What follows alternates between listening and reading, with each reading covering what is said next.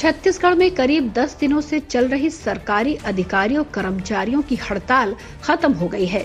अधिकारी, कर्मचारी फेडरेशन ने हड़ताल खत्म करने का ऐलान कर दिया है। इससे पहले गुरुवार को अधिकारियों और कर्मचारियों की हुई बैठक में सहमति नहीं बन पाई थी।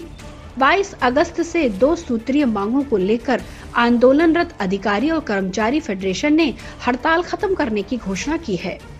उधर राज्य के मुख्यमंत्री भूपेश बघेल ने भी हड़ताल पर बैठे अधिकारियों और कर्मचारियों से अपील की थी। छत्तीसगढ़ सरकार के वरिष्ठ मंत्री रविंद्र चौबे की मध्यस्थता के बाद अधिकारियों और कर्मचारियों ने हड़ताल खत्म करने का निर्णय लिया है। मुख्यमंत्री की पहल पर मुख्य सचिव से अधिकारियों और कर्मचारियों की चर्चा हुई। फेडरेशन के संयोजक कमल वर्मा ने बताया कि दिए गए सुझावों को सरकार ने मान लिया है।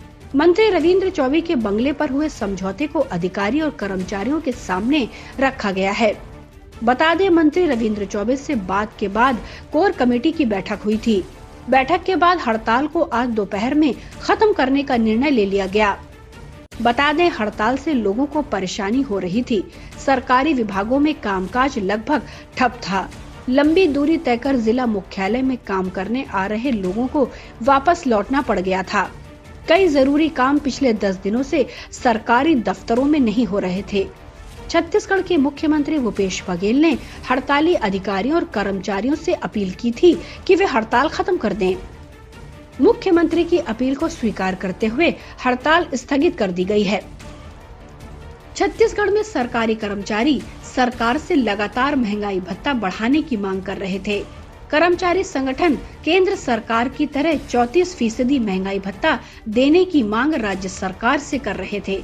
बीते जुलाई महीने में कर्मचारी इस मांग को लेकर हड़ताल कर चुके थे।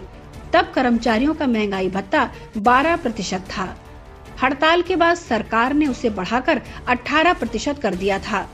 लेकिन कर्मचारी संगठन केंद्र और दूसरे राज्य सरकारों की तरह 34 फ़ीसदी महँगाई भत्ते की मांग कर रहे थे। इसको लेकर ही कर्मचारी बीते 22 अगस्त से अनिश्चितकालीन हड़ताल पर चले गए। शासन प्रशासन की पहल के बाद अब फिर से कर्मचारी काम पर लौट आएँगे। इससे आम लोगों को राहत मिलने की उम्मीद है। तृतीय वर्ग कर्मचारी संघ के संरक्षक विजय झा ने बताया कि दिवाली या राज्य सौ पर कर्मचारियों को इस राशि का भुगतान किया जाएगा। साथ ही उन्हें एरिया भी मिलेगा, जिससे पूरा करने के वादे को लेकर हड़ताल समाप्त की गई है। Bureau report public news.